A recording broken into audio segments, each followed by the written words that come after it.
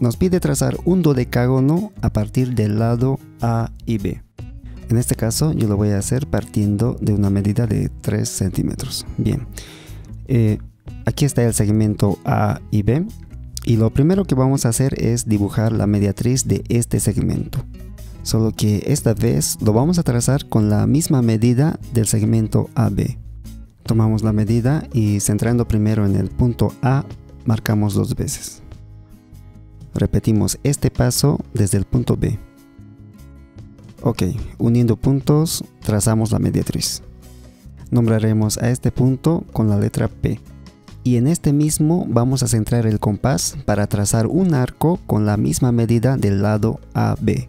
Como pueden ver, el arco está cortando la mediatriz en un punto que lo llamaremos con la letra O y que a su vez este será el centro de la circunferencia donde estará inscrito el dodecágono. Bueno, centramos el compás en el punto O y abriéndolo hasta el punto A o B, vamos a dibujar una circunferencia. Tomamos la medida del segmento AB e iremos trazando unos cortes hasta obtener los 12 vértices del dodecágono.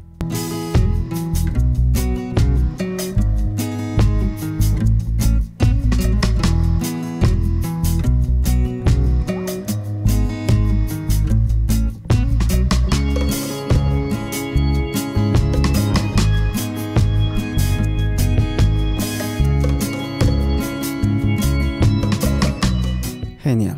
Vamos a nombrar a los puntos con las siguientes letras.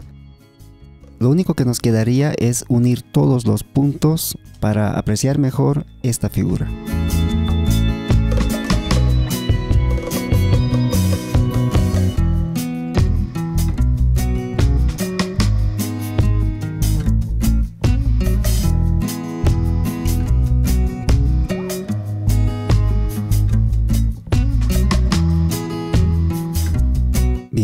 Este es un polígono regular de 12 lados y que lo hemos construido a partir de un segmento AB. Ahí tienen un dodecágono.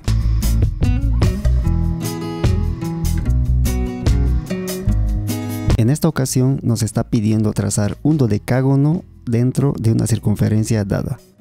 Para centrar el compás voy a marcar un punto y pinchando en este dibujamos una circunferencia. En mi caso lo hice con un radio de 6 centímetros. Bueno, el siguiente paso será dibujar dos diámetros perpendiculares entre sí, uno vertical y otro horizontal. Para ello, haciendo uso de una escuadra, dibujaremos primero la recta horizontal. Sin mover la escuadra, apoyamos en este el cartabón. Teniéndolo fijo el cartabón, giramos la escuadra hasta hacer coincidir con el punto central. Trazamos el diámetro vertical. Ponemos nombre a los puntos. Ok. A continuación, con el mismo radio de la circunferencia, vamos a dibujar cuatro arcos centrando en cada uno de los puntos hallados anteriormente. Bueno, vamos a comenzar centrando el compás en el punto A.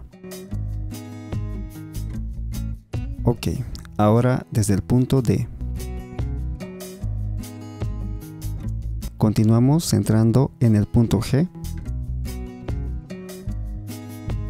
y finalmente trazamos el cuarto arco desde el punto J.